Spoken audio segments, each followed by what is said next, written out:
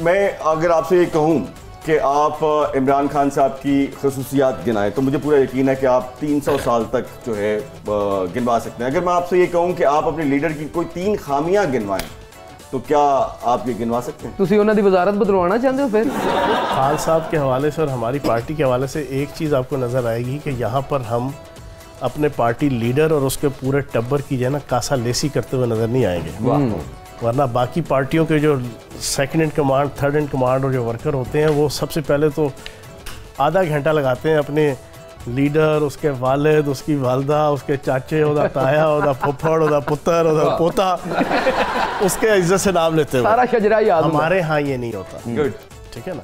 खान साहब का ये है कि जिसने सबसे पहले खान साहब के साथ किसी इशू के ऊपर डिस्कशन कर ली hmm. खान साहब उसकी उसको सबसे ज़्यादा इंपॉर्टेंस देंगे और वेटिंग देंगे उसकी राय को। वाह। ओके ये तो खसूसियात हो गई। नहीं नहीं नहीं चाहे वो ठीक दे चाहे वो गलत दे। अच्छा। ना जो सबसे पहले खान साहब को राय दे देगा ना हम्म, हम्म। वही ठीक होगी। नहीं मतलब उनके ऊपर वो जल्दी ओके जल्दी जाना अपने मेरे पॉइंट ऑफ़ व्यू से उनको बाकी चीज़ों के यानी कि आपका मतलब है कि उनको ऐसा नहीं करना चाहिए। मेरा ख्याल है उन्होंने एक मेन हामी है कि नाल दे बंदे ने रोटी नहीं खवांदे यार। ये इन्होंने बड़ी अच्छी बात की ना। रियली लाइक इज़ जो मेंटल अप्रोच है जो uh, वाकई मैंने फील किया है।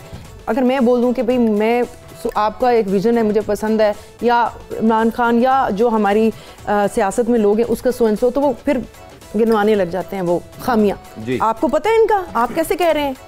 तो ये एक बड़ा जजमेंटल हमारा लोगों का ना एक एटीट्यूड है जो कि बड़ा ही कोई अजीब है जो बड़ा नागवार गुजरता है आई एम श्योर और मैं इसलिए बोलना चाह चाह रही हूँ क्योंकि ये हर फील्ड से अ, ताल्लुक रखता है हम कुछ भी हो अगर मैंने कोई अच्छी चीज़ की है तो पहले सबसे पहले हमारी फील्ड में तो हम पता है ये कौन है हाँ ऐ तो जरा चेक करो ऐ तो लाइक इंसान है भाई हम हम इंसान हैं एंड विच इज़ वेरी मतलब राइट इन्होंने बड़ी अच्छी बात Very की ਨਹੀਂ ਤੁਸੀਂ ਬਾਕੀ ਗੱਲਾਂ ਛੱਡੋ ਵਿੱਚ ਵਿੱਚ ਪੰਜਾਬੀ ਕਿੱਡੀ ਅੱਛੀ ਬੋਲਦੀ ਇਹ ਤਾਂ ਜ਼ਰਾ ਚੈੱਕ ਕਰੋ ਮੈਂ ਕੀਮਾ ਬਣਾਇਆ ਤਾਂ ਇਹ ਵੀ ਚੈੱਕ ਕਰੋ ਮੈਂ ਆਪਣੇ ਹੱਥੀ ਰੋਟੀ ਬਣਾਈ क्यों भाई ਹਾਲਾਂ ਮੈਂ ਕਦੀ ਨਹੀਂ ਬਣਾਉਂਦੀ ਮੈਂ ਤੁਹਾਡੇ ਹੱਥੀ अपनी ਬਣਾਈ अपनी जगह और अपनी जब तक हम अपनी ओन नहीं करेंगे अपनी जुबान अपने लोग अब जो अच्छी ओन करते हैं तो उसको रिस्पेक्ट करते हैं तो ऑटोमेटिकली वो अच्छी लगती है मैं ओन करती हूँ तो इसलिए आपको अच्छा लगा है मेरे मुंह से बोलना वेरी ਬਿਲਕੁਲ ਐਸਾ